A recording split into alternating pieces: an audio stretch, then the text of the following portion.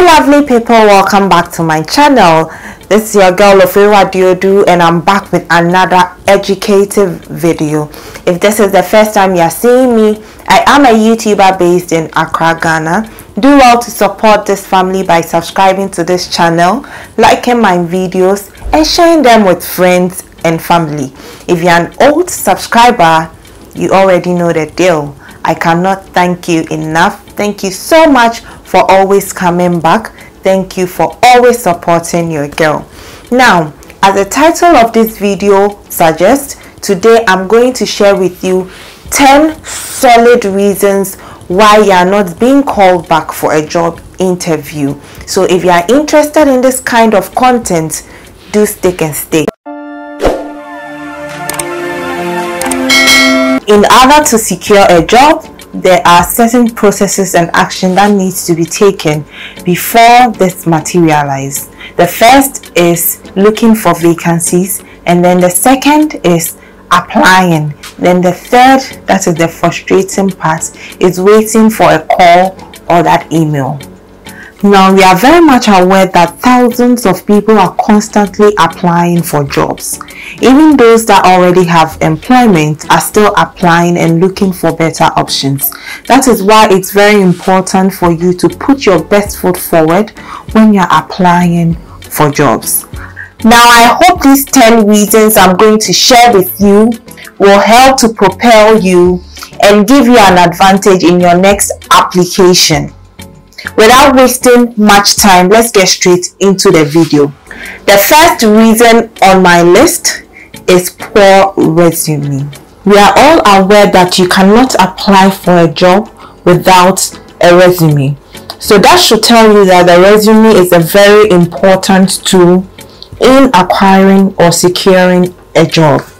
Your resume should be able to sell you. It should highlight why you be an asset to any organization. Your impact and your accomplishment must be clear. Most of us focus more on our responsibilities and duties than our accomplishments. If you want your CV to stand out, you need to pay attention to your accomplishments and make sure that it is the highlight of your CV. Also, our CVs are not tailor-made. It's like a generic CV and we send the same CV everywhere. In this part of the world it's like most of us do not grow in the career path we start with. We are all looking for a job and sometimes you study a different course. You end up working in a totally different field than what you studied.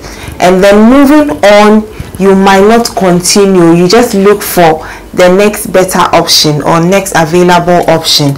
So sometimes our cv can be all over the place. So a person reading the cv might find it difficult to make sense of what we've done over a period of time. So this is something we need to pay close attention to because a lot of us are corporate and it's not by choice. You need to survive. So you end up working in different different fields and they do not link.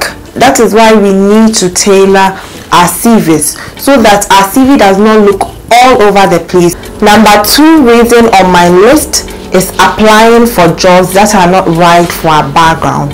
Applying for jobs that has absolutely nothing to do with our field or our previous experience. In short it will seem as if our materials we've presented do not speak to the job that we are applying because our experience has totally nothing to do with um, the job that is available. So once you are applying for a job, the first thing you have to look at is the job description and the qualification.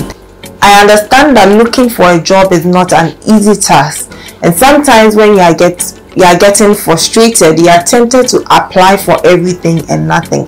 But it's very important to make sure that you read the qualifications and make sure you have those qualities okay? And also ensure that you tailor your CVs to fit that qualification so that once you apply it makes sense I hope you get where I'm coming from. It could be that you are also overqualified for the job and so all the materials you've presented does not speak directly to the job. It could be that it's beneath it, even though it might be in the same field, like a branch manager applying for an officer role. Another reason under this could be that your achievement does not match with the preference of the employer. It's as simple as that. Sometimes it's not rocket science. Number three on my list is not networking enough. That one, I do not have to talk much about it. We already know. It's a norm. It happens everywhere. If you know someone, it gives you a little push. So, if you are able to meet the right people at the right time, they can always give you a push. They can put in a word for you or they can refer you for a job. Number four on my list is relying too much on job websites and links. I already did a video on how to find vacancies. If you haven't seen that video, I will link it up here even in that video i did say that sometimes you need to actually make that move instead of being at home just sending cvs through links there are a lot of agencies around that you can walk in to make inquiries build rapport with them so that they can help you to get better options it's also part of the networking you need to find other means of getting vacancies other than the job website and links. Number five on my list is not applying for enough jobs. My dear, looking for employment is not an easy task. Everyone knows that. It involves a lot of work and dedication. Try to send or apply for as many jobs as you can. When you see a link, apply immediately. It's never enough until you find that job. Number six on my list is when you have an unexplained gap or recent gap in employment, which takes me to point number seven. You must always accompany your resume or your CV with a cover letter. So in the cover letter, you are supposed to explain or it gives you the opportunity to explain why there is a gap in employment. Your cover letter should convince your employer and tell your employer why you need the job. It's as simple as that. Why do you need a job? Number eight on my list is social media. Are you aware that some companies are doing background search before they call you in? And the easiest way to get information now is through social media. It could be your social media is sending a bad vibe. Number nine, sometimes it just could be about educational background and experience. Nothing personal. You just don't fit their preference or requirement. The last on my list, which is number 10, is it is possible. Remember guys, it is not over until you find a job. Remember guys, it is not over until you find a job. Until you find a job. I hope these 10 reasons I've shared with you will make all the difference. Thank you for watching this video all the way till the end. So we meet another time. Makramo. I'm out. Bye bye.